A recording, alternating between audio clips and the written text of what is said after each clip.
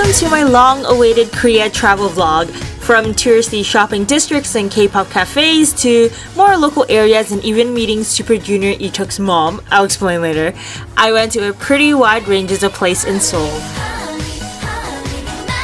I actually just came back from my Taiwan trip the night before my flight to Korea, so that morning I was thoroughly exhausted.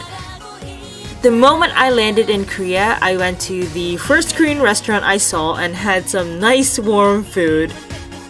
I took the bus to my hotel. I just want to say that out of all the places I visited this summer, this is probably one of my favorite hotels in terms of interior design.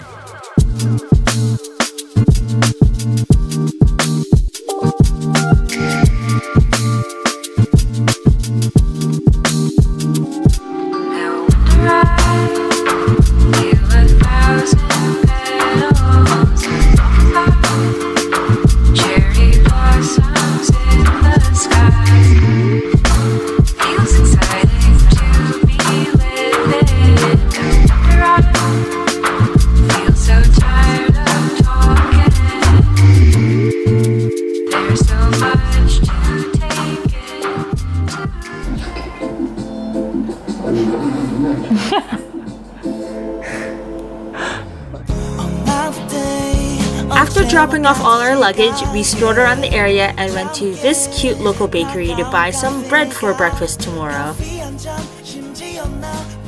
It is like pretty late at night now and we left the hotel and bought some cup noodles for emergency purposes.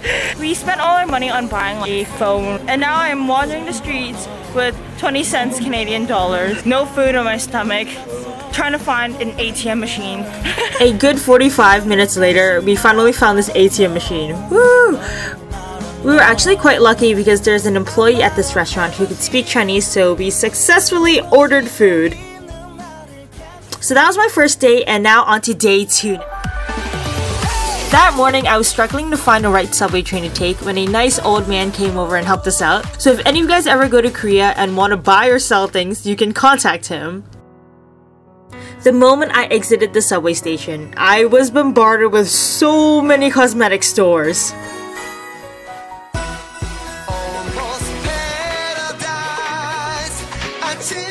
Keep in mind that I went to Korea back in August, so endorsement models, especially those under SM, have changed since then. Internally sobbing, don't worry, me too.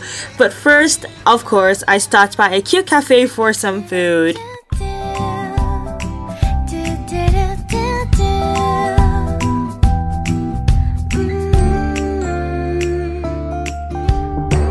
I'm so tired. Shopping is a sport. I kid you not, the oh so famous Myeongdong area will make your wallet bleed.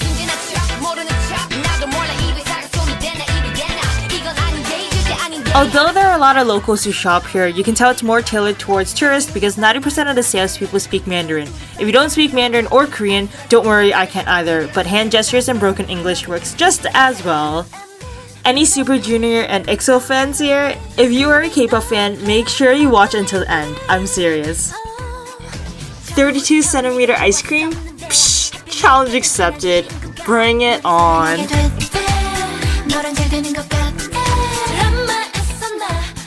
As an avid fan of a lot of SM groups, I just had to visit the Everysing store. Fashion wise, it wasn't anything special. Um, there is a buffet on the top floor, which is kind of funny and strange. Honestly, I think the main reason why people come here is just to fangirl over the huge posters in the store, which is exactly what I did. So I walked to K-Story, which is a K-pop cafe run by Heechul's sister. There was literally one person in there and I'm not surprised why. For a cafe where the target customers are K-pop fans, I can't believe they don't even allow pictures even at the entrance. That was a huge disappointment, but food makes everything better, so we stopped by this highly recommended restaurant. I started off the meal with a shot of ginseng liquor. I had their specialty black chicken ginseng soup while my sister got the white one. After a long day of shopping, it's finally time to leave Myeongdong.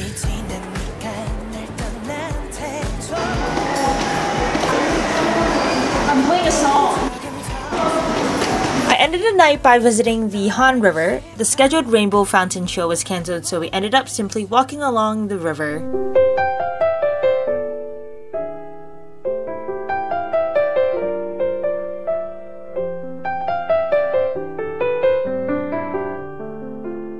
This morning I will be heading to the Hongdae area where I will be cafe hopping. My morning started off very interestingly when there was a guy who literally fell asleep while standing in the subway, then walked out with his eyes still closed and dropped his hat. And before I could give it back to him, the doors closed, so I ended up giving it to the security office. Here's an OOTD featuring a dress that I bought in Taiwan and this super duper uber cute hair ribbon. Alright, starting off the day with some food at this Vietnamese restaurant. We ordered a few dishes and we, well, more like me, I devoured it right away. Mwahaha. On to the highlight of my morning, which is visiting this cute cat cafe.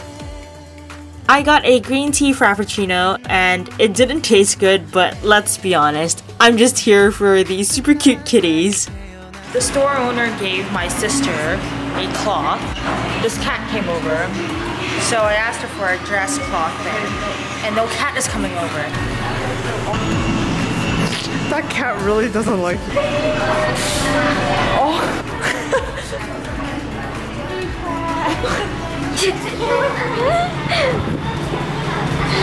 Why doesn't the lady help me? I want a friggin' cat in my lap. With no cats. It's going to the little girl. Oh, oh, sure, there's one behind you. Alright. Look at my cute cat. No, it's a Yo, just, just pick it up and put it on your. No, I don't want her to kill Sure. me. So my sister ended up giving me the cat.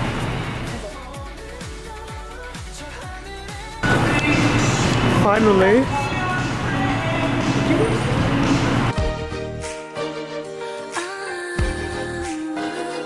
We walked around the area and oh my gosh, I don't know if it's just me, but every single time I see a Korean department store, I can't help but think of those Korean drama makeover scenes. So you guys need to visit this LineFit store in this specific subway station. The workers here are so nice and so cute.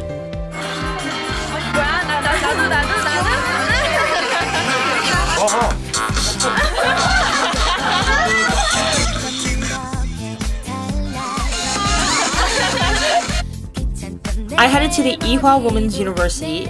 I've heard so many good things about the different flavors of pizzas in Korea, so I've been wanting to try the sweet potato pizza for the longest time, and it definitely lives up to its expectations. Besides the university, there are plenty of cosmetic and fashion stores here. I wasn't able to spend much time here because it started pouring all of a sudden. I went back to the hotel for a bit before heading out again for dinner nearby. I mean, how could I possibly not eat Korean barbecue while I'm in Korea? When I was planning this trip, I decided to be a little more adventurous and purposely chose a hotel that wasn't in a touristy area. The cool thing about this area is that it is super lively at night. There's lots of street food and a lot of bars and drinking places here. Today I am going sightseeing, doing all the touristy things, like going to the palace.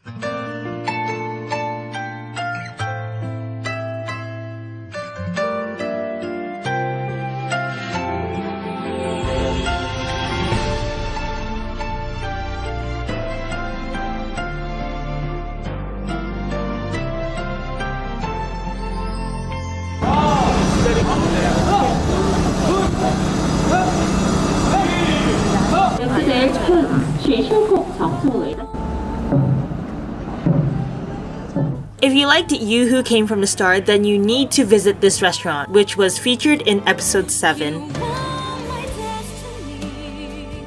This restaurant's handmade noodles has been their tradition for 50 years. If you want to relax and take a nice stroll along the stream, definitely come here. My sister and I had a competition to see who could get a coin into that hole, and with my awful aim, I missed, but my sister got hers in. Being the sore loser I am, I tried again and failed again. As we were leaving, I just had to stop and film this. It's so cute.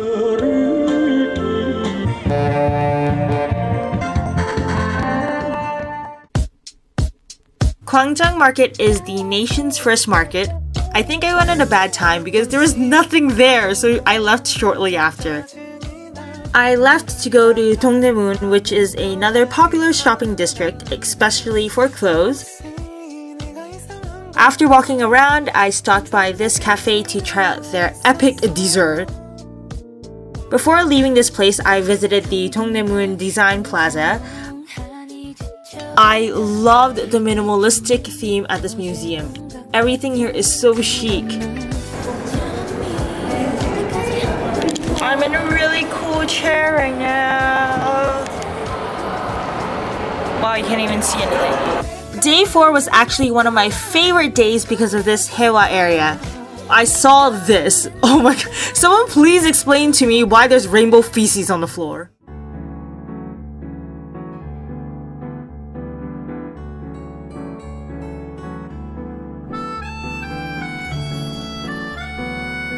Ihwa Mural Village is not a stranger to you if you're a K-drama fan. This place has a calming ambience, the paintings are absolutely beautiful, and coming here right before sunset was such a good idea. This is definitely a must, must, must visit place. As the sun went down, I walked around the Hyehwa station area. There's a university and an arts theater here, so there's lots of younger people and a lot of talent.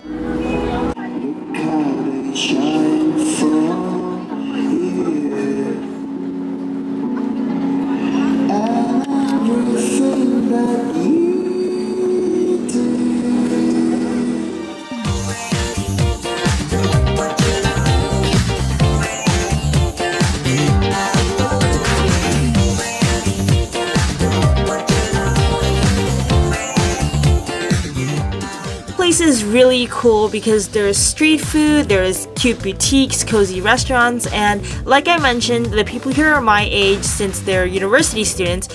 So yeah, and also, I swear everyone here look like models. I seriously loved coming here, so this is another must visit area for me. Not to mention, just in one night, I actually encountered two different filming slash broadcasting sessions. I couldn't tell what show it was, but maybe you guys will know.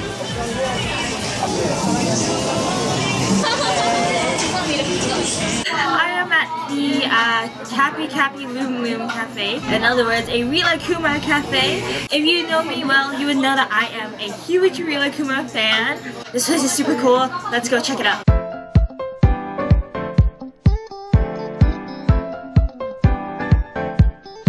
What better way to end the night than to go to a super cute Rilakkuma cafe? You guys know about my obsession, so this is practically Sherry's heaven. The next day, which is day 5, is my last day, and I have something very special in store for you guys. Morning, today I'm heading to the SM building, so let's go! The glorious SM Entertainment building. Oh my gosh, if you guys don't know by now, my all-time favorite groups are Super Junior and EXO. I just had to fangirl. I mean, come on, you can hear trainees singing from outside. I also went to Donghae's taco restaurant. Not going to lie, Super Junior will always have a special place in my little fangirl heart because they were the ones who sucked me into that K-pop black hole. Continuing on with my K-pop excursion, I went to a cafe opened by a few Super Junior members' moms. I seriously can't just pick one bias from Super Junior, so my top four in no particular order would be Siwon, Kyuhyun, Ryeowook, and Leeteuk. And so yeah, the cafe has a bunch of celebrity signatures and it's just a really nice and cozy cafe. And there's also a stack of books where fans can leave their messages for Super Junior members. Okay, for the most exciting part of my day, I was speechless when I saw Leeteuk's mom. I never thought there would be a day where I would fangirl over someone's mom, seriously. Right now I'm in a specific subway station that was recommended by a friend. This place is massive. Out of all the other fashion shopping districts I went to, I would recommend this one the most actually. No, it's my last night in Korea. I'm ending my trip with a visit to the 10-story high Home Plus. Let's just all take a moment and look at how cute this is. Oh my god! It's an hamburger!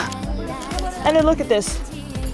Happy banana? Yeah, banana. Happy banana? Yeah, banana. Happy banana. Okay. Oh, look at these two notebooks I'm getting. It's a cute, scary kind of looking panda. There's a sleeping panda. But pandas don't sleep. That's why they have dark circles. I'm just kidding.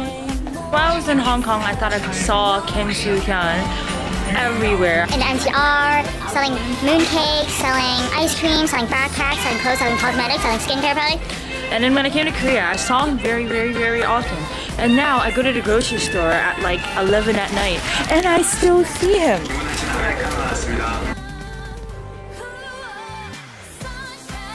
In Canada, Pocky to me is considered as a luxurious item because it is ridiculously expensive. But now, it's so cheap. Oh my god, what am I gonna do? I'm just gonna get a couple packs. Yeah, okay, that's good. Everyone here is screaming. Look how nicely packaged the meat here is. I love how beef, cans of spam, and even oil can come in fancy gift sets. I seriously think I bought enough snacks to last me a lifetime. That wraps up my lovely Korea vlog. I hope you guys liked it and found it helpful. I'll see you guys next time. Bye!